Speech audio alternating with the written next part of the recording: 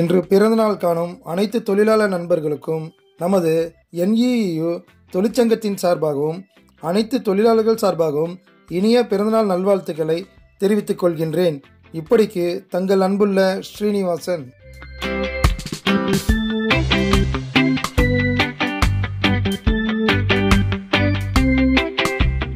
thank you